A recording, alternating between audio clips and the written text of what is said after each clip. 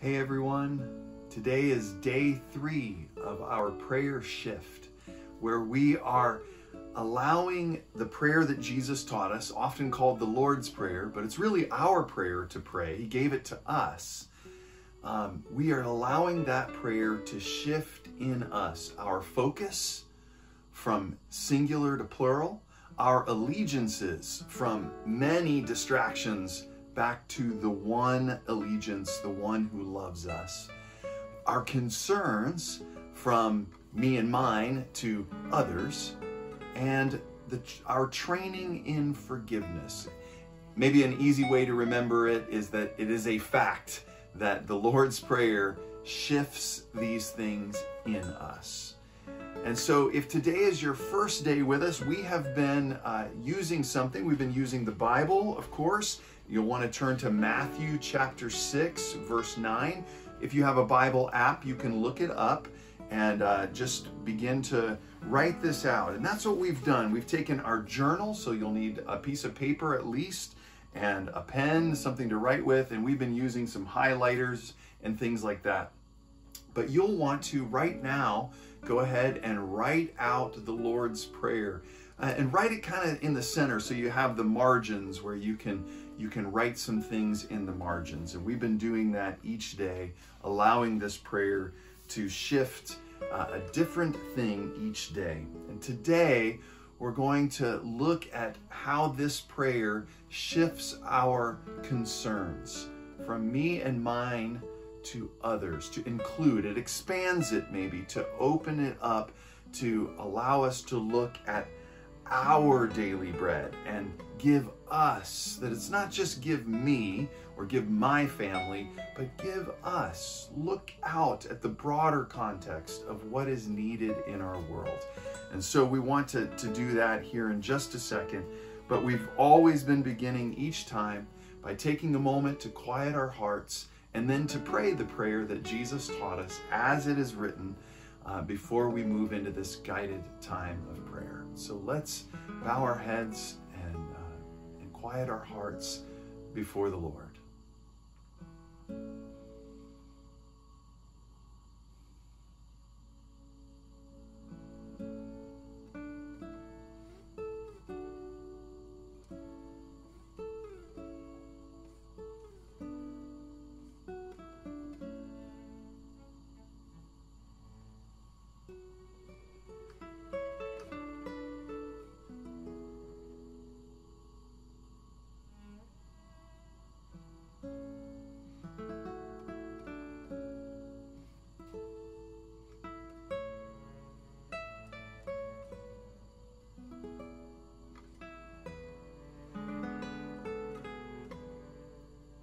Us pray as Jesus taught us. Our Father, who art in heaven, hallowed be your name. Your kingdom come. Your will be done on earth as it is in heaven. Give us this day our daily bread, and forgive us our debts as we forgive our debtors. And lead us not into temptation but deliver us from evil. Amen. Well, as I've already mentioned, today we're going to be talking about how this prayer shifts our concerns from just me or mine to look out at the world, to look in our communities at what those needs are. Now, it's not that our needs get thrown to the side or pushed out there is space for that. That word, us, I was informed yesterday by my mom, who's an English teacher, uh, that they weren't uh, plural nouns or collective nouns, as I was mentioning, that they are plural pronouns. So thank you, Mom, for letting me know that. Uh, but we're going to look specifically at the phrase today give us this day our daily bread. So when we have that plural pronoun us and our. It includes my needs, it includes your needs, it includes the needs of the immediate community right around us. But it also pushes us and stretches us so that we include and begin to look outward in our world. So here's what I want us to do. I'm going to take my red pen. I've got a red pen because that just really grabs your attention. I'm going to circle the uh, the plural pronoun uh, that, that are there. Give us this day our daily bread, circling the us and the our. And then just like we have in the past, we're going to draw a couple of lines out from there. And here's what I think we should do today. As we look at that, take one of those lines and write my needs out there. My needs. And maybe you want to create a little box that's there. And go ahead and take a few minutes, bow your heads, and just reflect on what are your needs. Maybe they are uh, physical needs. Maybe you're in need of healing from sickness. Maybe you are in need of daily bread. Maybe you are in need of finances or work, whatever that might be. It's okay. Write down what your needs are. So go ahead, take a moment and just list a couple. Maybe you know.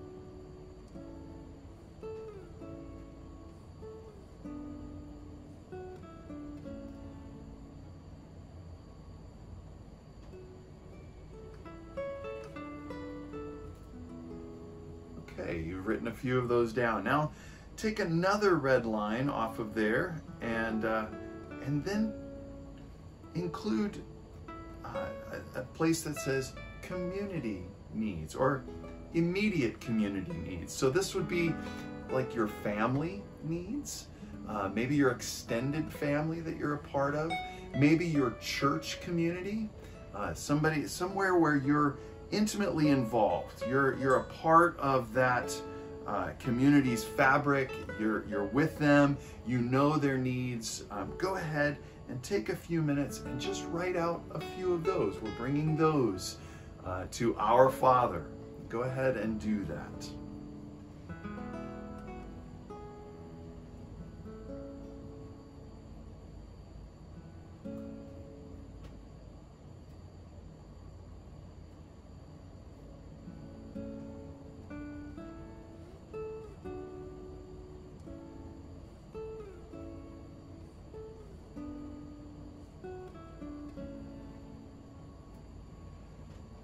Now we're doing this fairly quickly, but I just want you to know you can take all the time you need, even if you need to bring out another sheet of paper uh, to begin listing these needs. It's just good to get in the habit of, of acknowledging before God what those needs really are.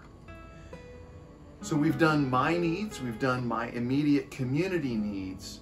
Now, it's okay to go out larger. This is where we allow God to stretch us. So maybe you want to write out a, a, a, larger box and put this as community or world needs.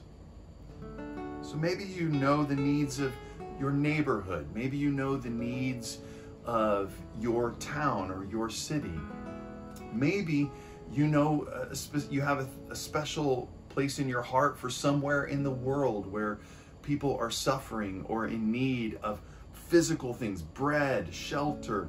Um, think about this. It begins to change maybe how you even read the newspaper. Um, as you read about some of these things going on in our world, I said newspaper, or surfing the internet, looking at Google News or whatever, uh, wherever you get your news source, to begin to write some of those things down as a part of your prayer life. Not something that's shoved over in an entirely different world, but we're bringing Remember, as we prayed yesterday, that God's will and reigning would be on earth as it is in heaven. So you bring that into your prayer life. So take a few moments, think about world needs, your community needs, and write a few of those things down in that box that you've written off to the side.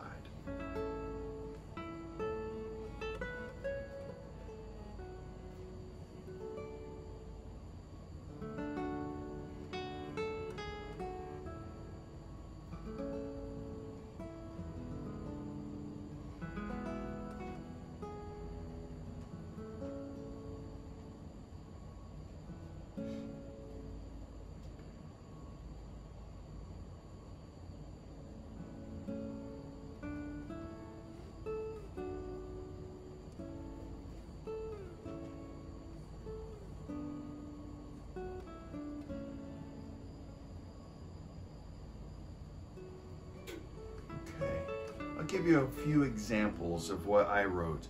Uh, we had a, a, tragedy here in our uh, homeless community in Kalamazoo where a propane tank exploded, and so want to remember their needs, not just for um, you know those who were injured, but the, the homeless community in and of itself.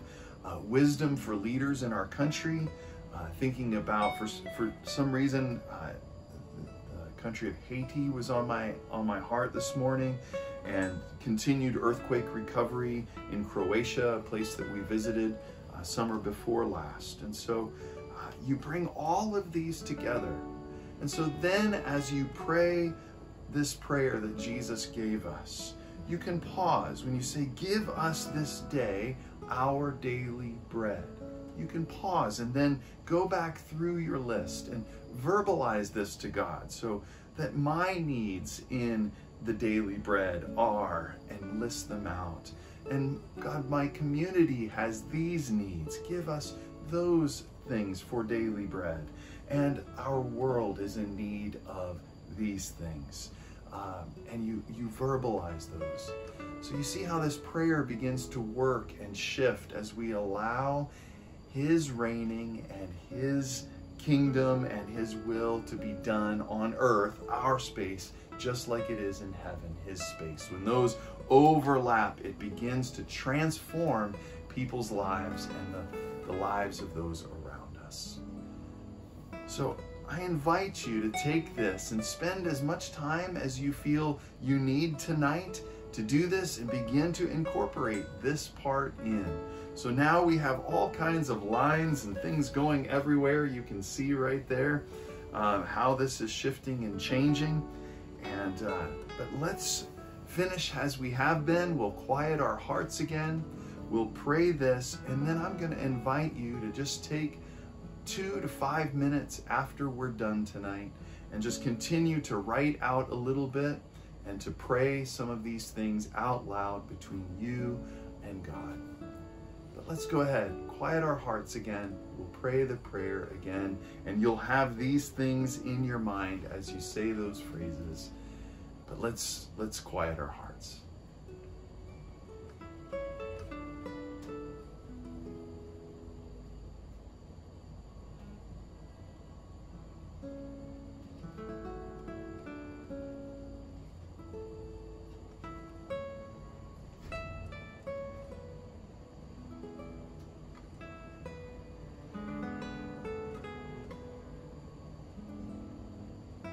Let us pray as Jesus taught us. Our Father, who art in heaven, hallowed be your name. Your kingdom come, your will be done, on earth as it is in heaven.